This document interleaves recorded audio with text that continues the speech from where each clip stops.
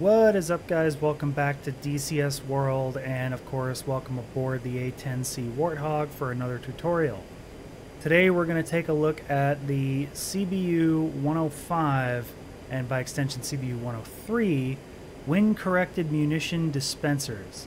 Now in our last video we talked about JDAMs and uh, the reason I bring that up is because the CBU 103 and 105 behave much in the same way, except that they are cluster bombs.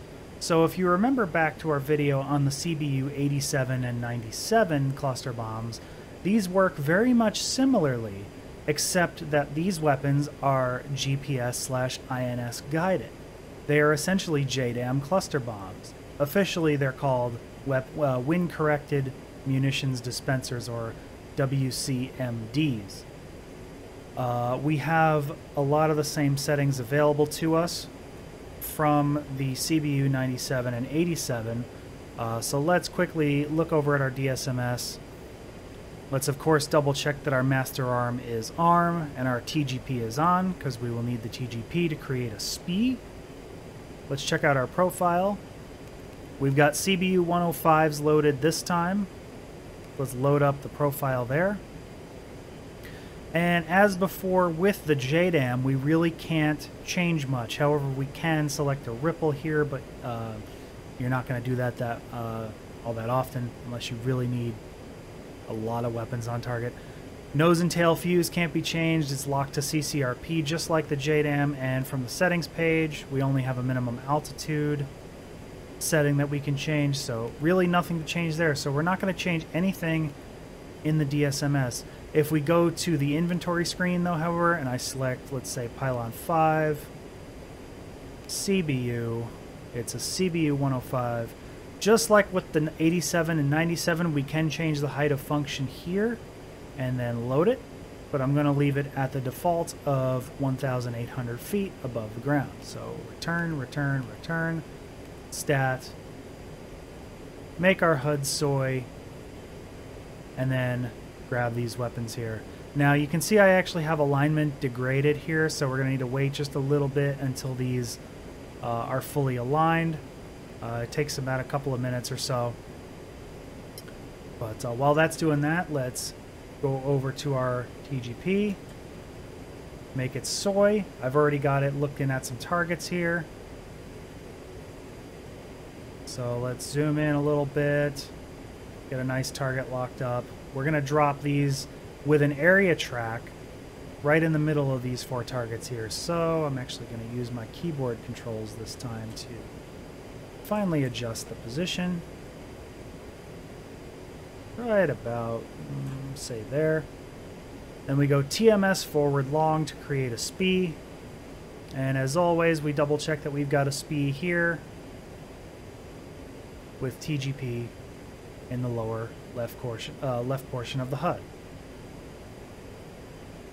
Now, stand by a little bit while we wait for these fully align and say ready in the little boxes similar to the JDAMs from the previous video.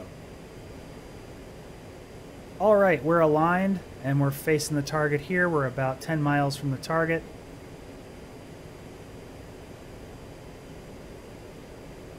Getting lined up with the azimuth steering line. Once again, quick pause, just look at our symbology. We've got CBU 105 selected. Our alignment is now ready. SPI is provided by the TGP. And we've got the exact same symbology that we had for the JDAMs. We're going to have a minimum and maximum range caret, and we're going to have a range uh, line that's going to unwind in this circle once we're inside a range. Okay? Let's unpause and continue heading towards the target. Alright, so we're lined up. We have our minimum and maximum range carets getting into position again. And once we're in range, we're going to drop the bombs. And we should be able to watch these ones all the way down.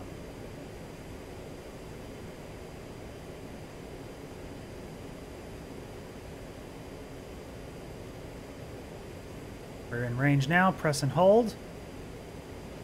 There's one away.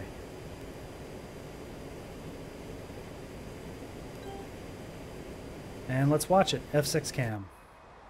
So there it is. It's going to guide itself towards the target.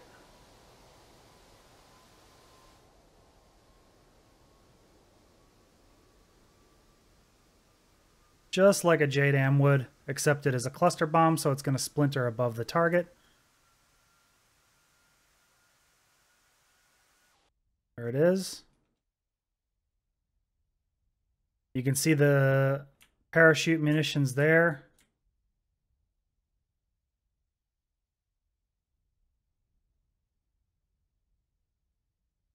They're falling on the target now.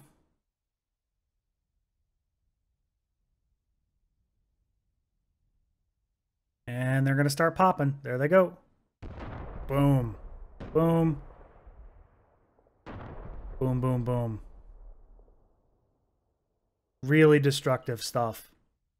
So you remember what the cluster bombs did in that video. Just imagine that with GPS slash INS guidance.